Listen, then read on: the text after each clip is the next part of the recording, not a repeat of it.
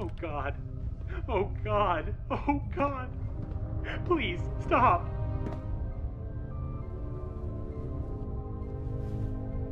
The FEV has been dispensed.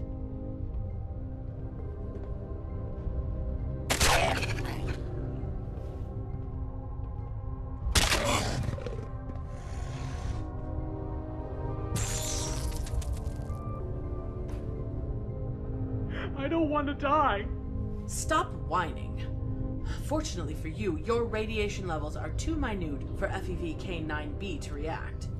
This is it. The ultimate weapon against the wasteland.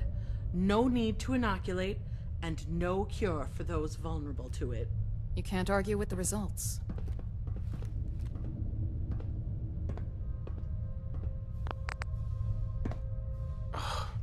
This is a horrible idea. If we were pushing forward with the Senator's plan, I'd agree. Keep the faith, Major. We'll use this sensibly. Colonel Whitehill, I implore you to rethink this strategy of yours. It would be foolish to squander my FEV in rudimentary grenades. We hold the solution to the mutated hordes in our hands. Let me work with the chief engineer to release my FEV throughout the world. No. My word is final, Doctor. We're going forward with the development of FEV grenades, and that's that. You're making a mistake. What's going on? The depot is under attack. Who by?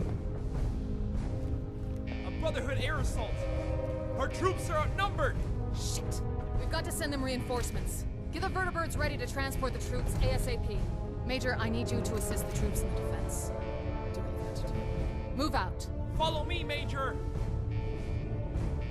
It's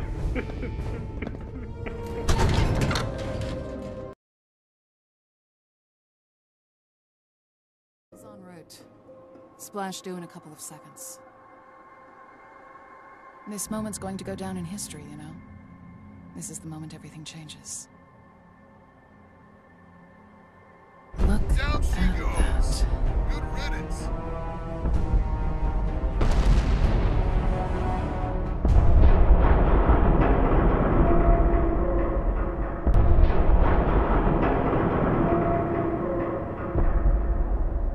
One less thing to worry about. It'll be a long time before the Brotherhood of Steel will be able to retaliate. If at all. I'll stay here for a while. We can talk about what's next back on the oil rig.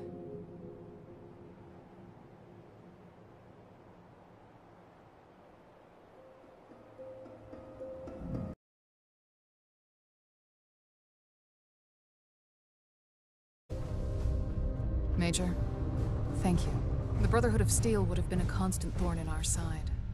And now we can rest easy. Thanks to you. We took out the Prydwen. But what about the rest of the Brotherhood that wasn't on the airship? There'll be a few, yes. That said, they've been dealt a serious blow, and I don't think they'll be a credible threat for the foreseeable future. We're well on our way to establishing ourselves in the Commonwealth, and this show of power was an important step. The people of the Commonwealth now know what happens if they resist our rule, which we'll start to enforce soon. Of course, first we need to consolidate. We can't risk overextending ourselves. Uh, excuse me, ma'am?